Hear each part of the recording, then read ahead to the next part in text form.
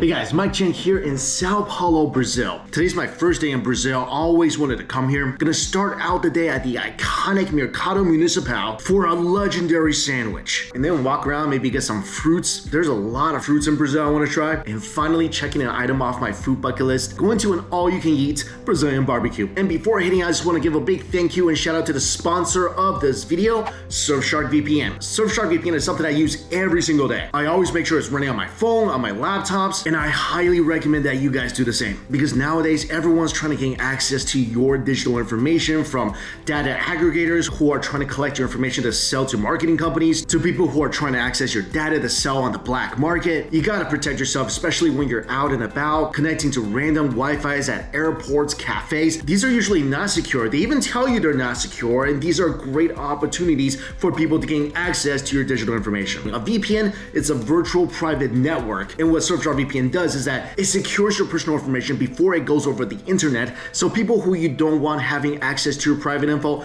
they're not gonna have access to it. Surfshark also has something called Surfshark Alerts. So when someone's trying to gain access to something like your email, you will get notified right away. Also, if you love watching movies, you love watching TV shows, you can actually use Surfshark VPN to change your location to a different country, giving you access to that country's video and movie catalog on Netflix. Or if you're traveling abroad, you want access to your US streaming services, use Surfshark VPN to switch your location back to the US so you don't miss your favorite movies or TV shows. Or if you just want normal access to a lot of US major websites, because some of these websites don't even function when you're trying to access it from abroad. So I use Surfshark VPN to do even basic things like pay my bills. And when you turn it on, it just runs on the background, it's fast, and it costs less than a cup of coffee a day. So if you want to give it a try, go to my link down below. Using my promo code DUMPLING, you'll get 83% off your order plus three additional months for free and try it out for 30 days. If you don't like it for any reason, get your money back. All right, let's go get the sandwich.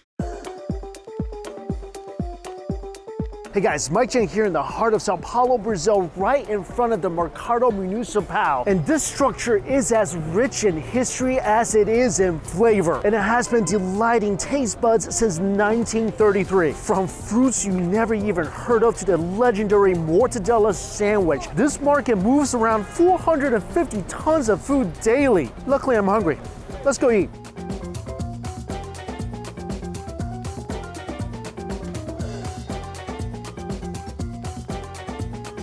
And there's a lot of food stalls in this market offering that sandwich. This is probably the most famous one. Before the sandwich, I got a bolinho bacalhau. And this is a traditional Portuguese Brazilian snack. I had this um, when I was in Lisbon, and it's a traditional Portuguese Brazilian snack made with salted codfish. Inside there's potatoes. It's deep fried where the outside is perfectly crispy, inside perfectly soft and tender. Look at this. It's also stuffed with tons of herbs. And they told me to drizzle some olive oil onto this, some lime.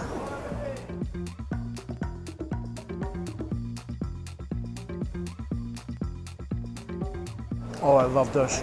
The outside crunch is subtle yet remarkable. Inside, mushy potatoes mixed with the cod provides a savory yet unmistakably aromatic bite especially when you drizzle that with some olive oil. It's basically a contrast of crunchy versus soft. And when you put it all together, you're just tasting food magic right here. Every single time your teeth meet, you get a bit of that crunchy outer shell. You taste the fish, the potatoes, the olive oil just adds the aroma of this dish. They have um, chili sauces sitting here as well.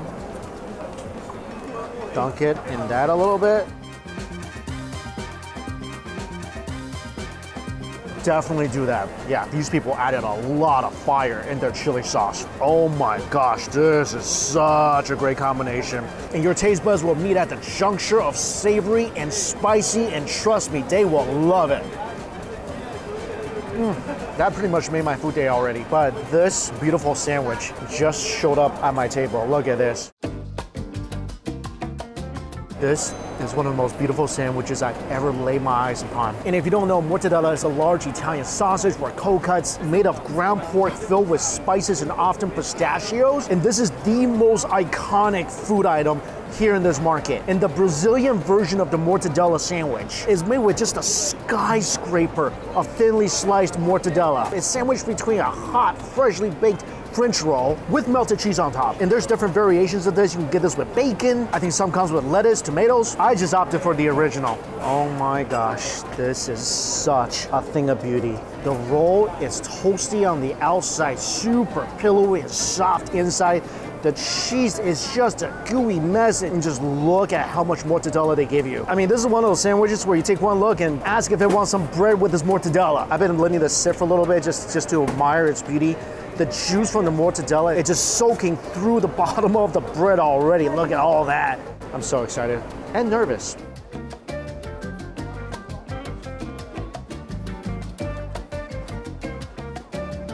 If this is a food dream, don't ever wake me up. Wow. Wow. Now, I love a meaty sandwich, especially living in New York where the bodegas would just layer on the meat. This is everything my food loving heart desires. I mean, the mortadella texture is like a mother's kiss. Remarkably gentle and tender. When you bite down on the sandwich, the biggest resistance is just the crust of the bread. After that, it's like your teeth is sinking into a meat cloud. They slice the mortadella paper thin. You can taste the fat, you can see the fat. And mortadella has a distinct flavor that really sets it apart from other cold cuts. It's rich, it's meaty. I think above all, one word I would use to describe the meat, it's just so smooth. Like melt in your mouth smooth. Again, this is made from very finely ground pork, so you definitely taste how fine that is. Since there's hot sauce here, I'm gonna add some of this on my sandwich. Yeah, that heat really balances out the richness and the savoriness of the cheese and the meat. This one, it's a lot spicier. Try this. Also, not enough is being said about how delicious this French roll is. It's crusty, pillowy, and soft, and just a perfect vehicle for the sandwich. This sucker is substantial. Come in here, get one of these. You're gonna walk around the market all day. I think just like the ice cream cone, the last bite, this is the best bite. This is where the juice from the meat has all soaked into the bread. Best bite. Oh, that was a fulfilling sandwich. So a couple things about this market. First of all, it's a must-see if you ever come to Sao Paulo and you're a food lover. It is very touristy. A lot of vendors are very pushy. So you just gotta be aware of that. I think um, at the end of the day, I'm gonna just buy some fruit from the supermarket, take it back to my hotel and try it there. Not a local Brazilian grocery store. I feel like buying food here is probably gonna be a better deal. Oh my gosh, this is a cacao. Oh, this is so cool. Wow, this mango is beautiful. I'm gonna pretend I know what I'm doing when it comes to picking out mangoes. There's so much fruit in this grocery store.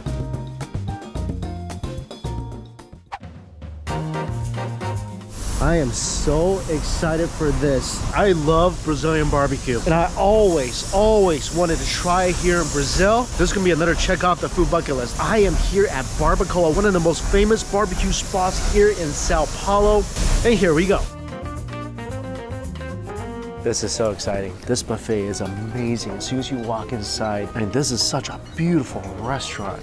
People are so nice here in the buffet. Hey, it's beautiful. All sorts of fresh and cooked veggies, cheeses, meats, seafood. There's seared tuna, there's asparagus, artichoke, heart of palms. Everything's laid out so perfectly. Mushrooms, ham, peppers, chilies, everything you might want to go with your endless meat is pretty much here. And look at the bread basket. I know this is gonna be my, my biggest challenge not to eat all this, but usually at a Brazilian barbecue in the US, you just get the cheese biscuits. Oh, but here there's all sorts of stuff. Mm. This is a Brazilian pastel, basically a pastry stuffed with beef, and this thing is stuffed with beef. I couldn't help but get a lot of stuff from the salad bar. Some octopus salad. Mm. Some mushroom, I think this is tossed in mustard dressing. Mm. Oh, that's freaking amazing. It's vinegary and mustardy. That's gonna go so good with me. Freshly sliced ham as well. Also, got some tuna. That's delicious. Look at this, artichoke with peppercorn inside. Mm-hmm. Oh, I don't know exactly what that was, but it was some sort of delicate smoked fish that disappeared as soon as it touched my tongue. Wow. Also, I got some cheese to dip in my, I think this is some mango jam. Everything I had on this buffet, it's either flavored perfectly, cooked perfectly, or just the freshest it can be. For the condiments they brought over, there's some pickle onions, some butter. I got some garlic and peppers on the side. There's some barbecue sauce as well. And what's really interesting is this medallion that starts and stops your meat parade. First time I've ever seen it, it's not a piece of cardboard. So let the meat parade begin.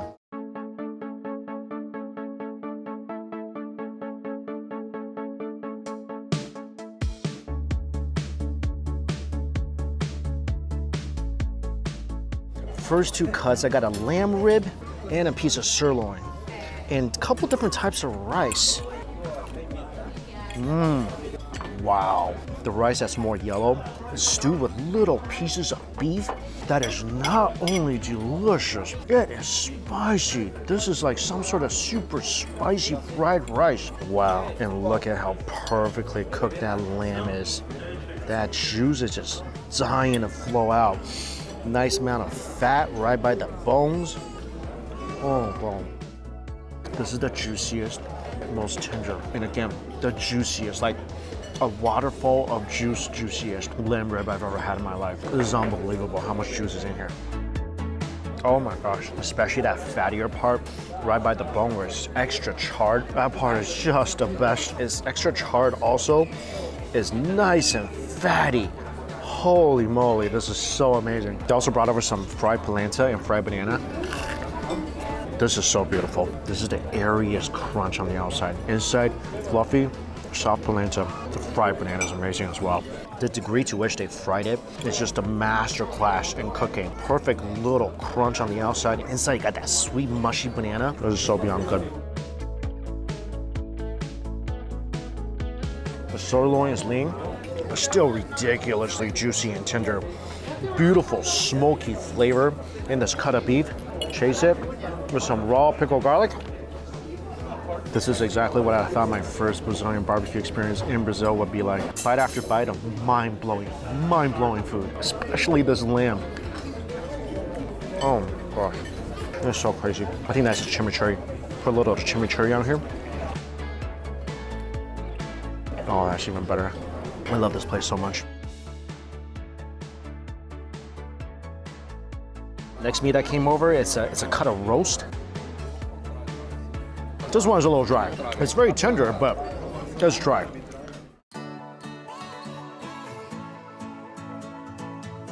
Lamb came by again. Literally cut this with my fork with not much effort.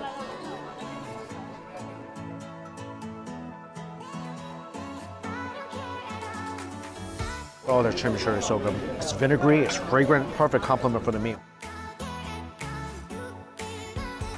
They just brought over a piece of grilled cheese. Oh, this thing has so much char.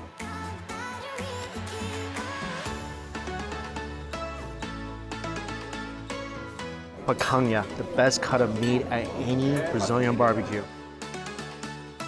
Oh my gosh. I've been to a lot of Brazilian barbecues. That is the most melt in your mouth piece of picanha I've ever had. This thing is so beautifully charred. Got that great, great smoky flavor. Of course, that little piece of fat. Mm, the piece with the fat is just the best. They just brought over another cut of picanha. And this one's a little medallion. Look at this. Oh, look at all that juice. This looks like it's cooked to absolute perfection. Oh my god. The juiciest steak I've ever had at a Brazilian barbecue, hands down. And right now the meat just keeps coming. I got a piece of flank steak here. Mm. It's more lean, but man, this thing is tender and juicy. Mm. It just brought over a blood sausage. Heck to the yes. Mm. Mm. Every single culture seems to have their own version of blood sausage, and I love them all. Snappy casing, rich, rich, rustic flavors. The filling is way smoother, creamier than other blood sausages I've had. Next up, some rib and more picanha. Mmm, this is really, really good. Fatty, juicy, perfectly seasoned. This is a super flavorful cut of meat picanha round two. Mm. If it's possible, this thing just keeps getting more and more tender.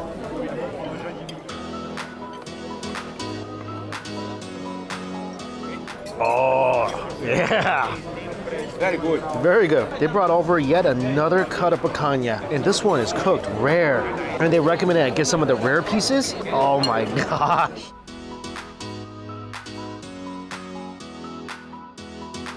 I think this might be the most tender cut. Barely need to chew this thing. I mean, the meat and that roasted charred fat at the end is like the beef version of that cherry on top of that cake.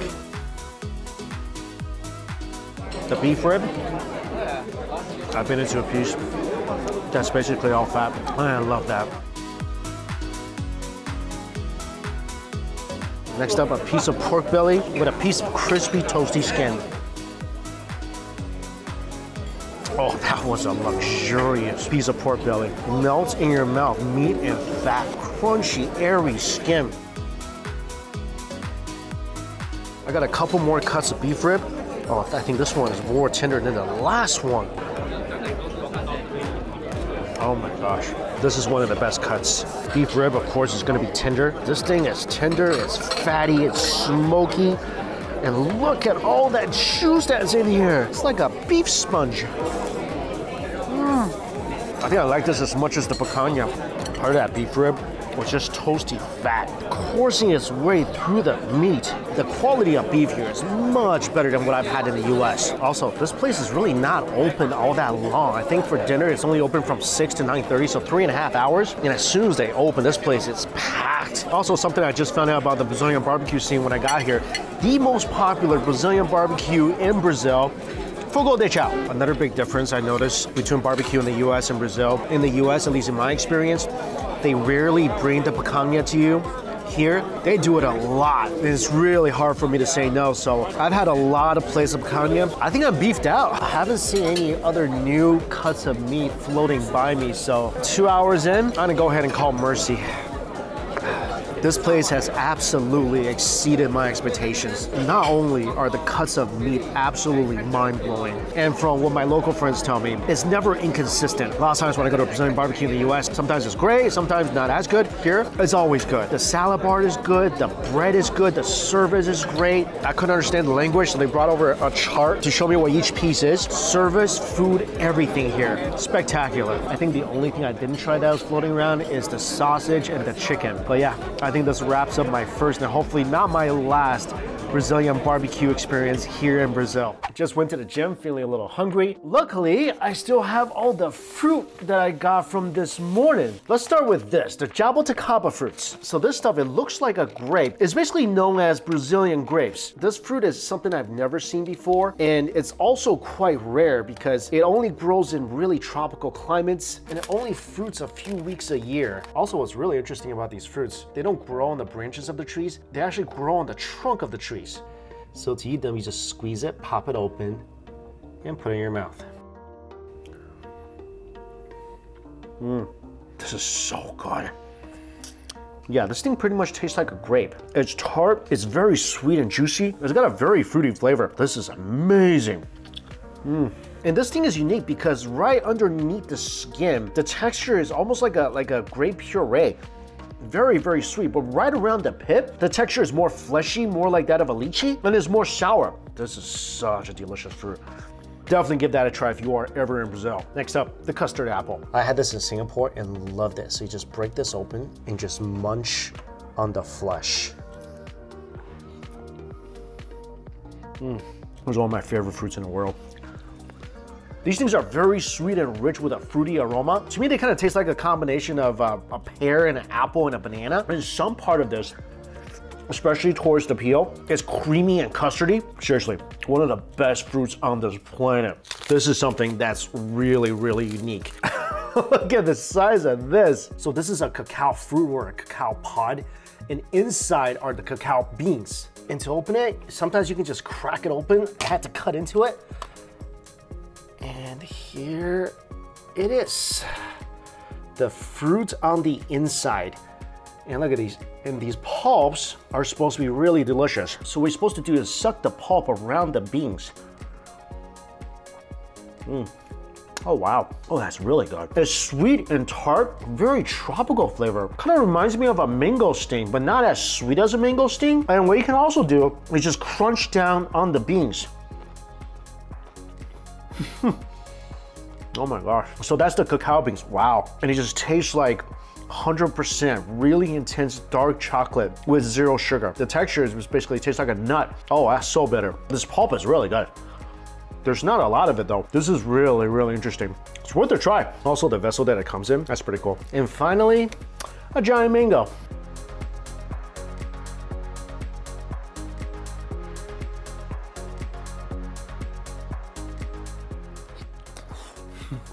So good. I didn't know this, but there's actually tons of varieties of mangoes, and a lot of them taste distinctively different. This one is really sweet and tart and juicy. I think this is a Palmer mango, which originated in Florida. Oh, and one other fruit I tried here in Brazil that I never had before was the cashew fruit. I talked about it in a separate video. I couldn't find it at the grocery store today. That's one of the best fruits you'll ever taste. It's very fleshy and super juicy and sweet. Anyway, Brazil, tons of exotic fruits, many that I've never seen before. So if you are ever here, go get yourself some barbecue, but don't forget about the fruit. And of course, all the places I went to listed down below for you guys. Thank you all so much for watching. Till we eat again. See you later.